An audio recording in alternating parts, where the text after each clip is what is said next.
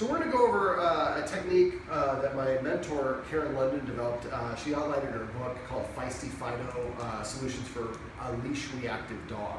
So uh, just uh, if you're looking for the book, you're watching this at home, it's Karen London, spelled just like the city, and just Feisty Fido is the name of the book. So basically what she does is she gets a handful of treats, which I'm going to put myself about five or six treats in this hand, and then I'm going to have one in this hand. Now this is going to be a little challenging with two dogs, or with three dogs here, but that's okay. All right, so what I do is I, I kind of get down in a crouch or on a knee, whatever I want. Yeah, there we go. Watch. So as soon as she looks at me in the face, I give her the treat. Watch. But I'm not commanding her to look at me. I'm waiting for her to do it on her own and then rewarding her for doing it. Watch. Now that time I extended it a little bit.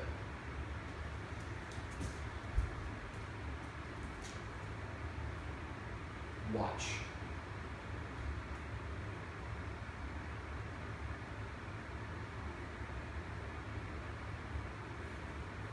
Watch. So I'm, I'm holding between my gaze and her gaze. All right, so what you want to do is keep on practicing the watch just like I showed you until when you sit down, she's not even, even though you have true treats full of really high smelling, treat, uh, uh, high scented treats, she's immediately looking up at you, mm-hmm. looking in the face. The second the treat touches her lips, she needs to hear the word watch. So what you want to do is keep on practicing this technique. I would start out by practicing it here.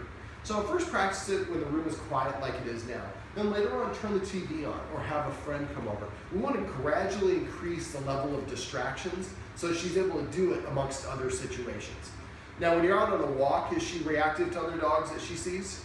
If they are barking at her. Okay. So what I would, what I, what you do for this technique is you want to find a place where you can go where there's maybe a path where a lot of people are going to be walking by with their dogs. Mm-hmm. So what you want to do is look for kind of a clearing where maybe there's trees here and there's trees here, so you only have a field of vision like this. Now the two tests that I have for a dog is can I get the dog to sit? Can I, will the dog take a treat? If the stimulus, uh, whatever it's reacting to, is too close, the dog won't sit and it won't take a treat.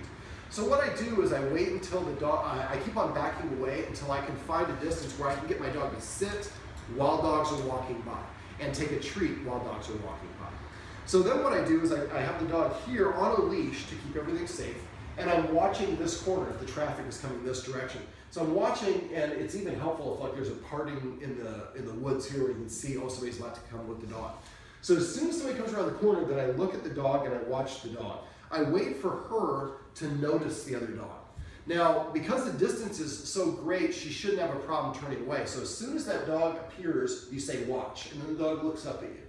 And then you do hold it between your, your face and hers, watch, and then do that. So the idea is to keep on doing this until, at this distance, until when she sees someone come around the corner, she just immediately looks up at you and you doesn't even have to say, you don't even have to say watch. This is what Karen refers to as the auto watch. So as soon as the dog does that, then what I would do is sit, watch, watch. And I would have 10 treats and do 10 in a row. We want her thinking, holy cow, what did I just do? Because I just got the mother load of treats. Mm-hmm.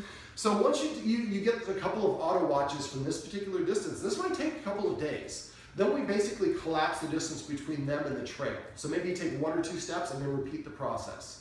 So we want to gradually keep on doing this for the dog, where the dog gets closer and closer. Now, because you work at a dog daycare, you might be able to find somebody who has a barky dog that can help you, mm-hmm. um, so that that dog comes around the corner and starts barking. But it's so far away, we can get her to look away. So what eventually will happen is we get closer and closer, and then what happens is she just kind of starts to identify. When I see another dog approaching, if I just look at my human, I get a treat. Now, if she looks away from the other dog, like we talked about earlier, this is confrontational. Sideways is approachable. So if I'm a dog and I'm looking over here and I see another dog and I turn this way and sit down and look at my guardian, to the other dog, I'm not presenting a challenge. I'm putting my side to them, I'm sitting down, and I'm not even giving any eye contact. Oh, okay. Uh, she's at least asking. yeah. um, so what we want to do is keep on doing this until no. stand up. Now march at her. Keep going, and now grab her by her collar and pull her to the edge, but not all the way up. So she falls like she, she feels like she feels like she's gonna fall off. And go ahead and film this while you do it. There you go. Perfect. All right, grab a seat again. Okay, so what we want to do is we want to keep on repeating this uh, and collapsing the distance. This might take several days until you can be like right here with the path and dogs are barking or walking by and she's just sitting there looking up at you.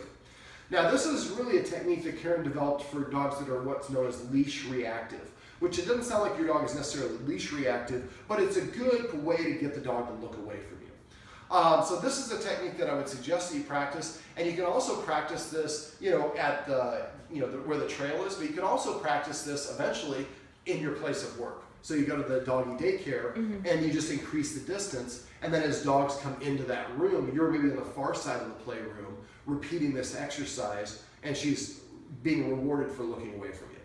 So this is uh, the watch exercise.